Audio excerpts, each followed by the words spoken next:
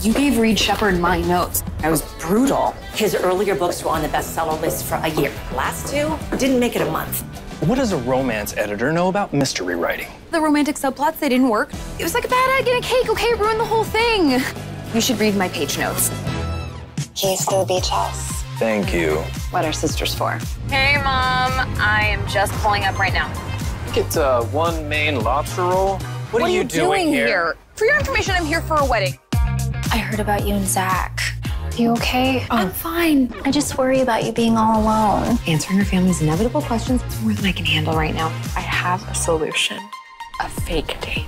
I want you to help me rewrite my book. I would love to help you, but I'm already squeezing in work around wedding events. Like trying to find the wedding date?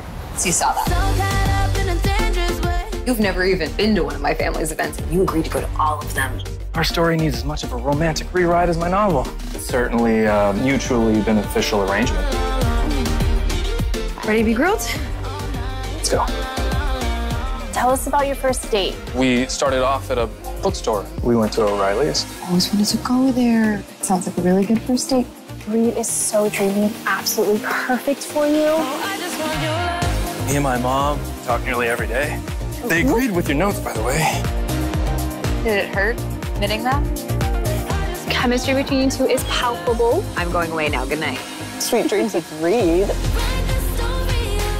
Just trying to work, but I keep getting distracted. The hero, he's found the one person who fills his heart with joy, but he's He's scared to admit how he feels. We're friends, maybe, at best. All right, seriously. But when it's your heart on the line, it's harder than it seems. you look beautiful. Thank you.